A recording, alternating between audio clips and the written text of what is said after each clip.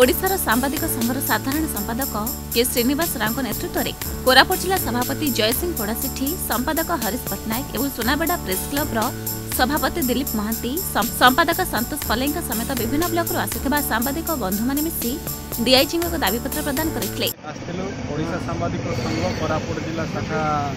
ସମସ୍ତ କର୍ମକର୍ତ୍ତା ଆଉ ମୁଁ ରାଜ୍ୟ ସାଧାରଣ ସମ୍ପାଦକ କେ. ଶ୍ରୀନିବାସ ରାଓ। ଆମର ଗତ ଦିନରେ ଯେଉଁ ସ୍ୱର୍ଗତ ଅ, ସାମ୍ବାଦିକ ରୋହିତ ବିଶ୍ୱାଳଙ୍କର ଲ୍ୟାଣ୍ଡମାଇନ୍ ବିସ୍ଫୋରଣରେ ଯେଉଁ ମୃତ୍ୟୁ ହୋଇଛି ତା ପରିପ୍ରେକ୍ଷୀରେ ଆମେ ମୁଖ୍ୟମନ୍ତ୍ରୀଙ୍କ ଉଦ୍ଦେଶ୍ୟରେ ଅ, ଦକ୍ଷିଣ ପଶ୍ଚିମାଞ୍ଚଳ ଡିଆଇଜିଙ୍କୁ ଗୋଟେ ଆଜି ଦାବିପତ୍ର ଦେଇଛି। ଆମର ଦାବି ରହିଛି ତାଙ୍କ ପରିବାରକୁ ଅନୁକମ୍ପାମୂଳକ ସହାୟତା ଅନ୍ୟାନ୍ୟ ପଚାଶ ଲକ୍ଷ ଟଙ୍କା ଦେବା ପାଇଁ ଆମେ ଦାବି କରିଛୁ ଏବଂ ତାଙ୍କ ପରିବାରର ଯେକୌଣସି ସଦସ୍ୟଙ୍କୁ ଯୋଗ୍ୟତା ଭିତ୍ତିକ ଗୋଟେ ନିଯୁକ୍ତି ଦେବା ପାଇଁ ଆମେ ଦାବି କରୁଛୁ। ଏବଂ ତା ସହିତ ତାଙ୍କର ସନ୍ତାନମାନଙ୍କୁ ସନ୍ତାନ ସନ୍ତତି ଅଛନ୍ତି ତାଙ୍କୁ ଶିକ୍ଷା ଦେ- ବ୍ୟବସ୍ଥା କରିବେ ବୋଲି ସରକାର ପାଖରେ ଅନୁରୋଧ କରୁଛୁ।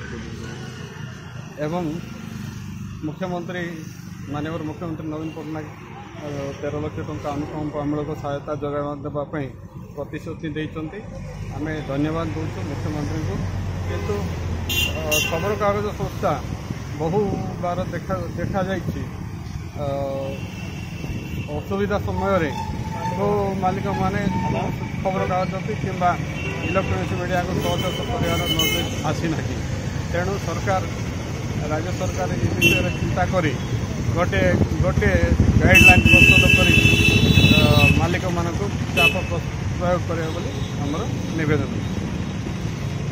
ଯାହାକି ସାମ୍ବାଦିକମାନଙ୍କ ସୁରକ୍ଷା ସହିତ ସ୍ୱର୍ଗତ ରୋହିତ ବିଶ୍ୱାଳଙ୍କୁ ସହିତର ମାନ୍ୟତା ତାଙ୍କ ପୁଅ ଝିଅଙ୍କୁ ପଢ଼ାଅ ପେନ୍ସନ୍ ବ୍ୟବସ୍ଥା ଏବଂ ଅନ୍ୟାନ୍ୟ କେତେକ ଦାବି ପୂରଣ ପାଇଁ ସମସ୍ତେ ଏକତ୍ରିତ ହୋଇଥିଲେ।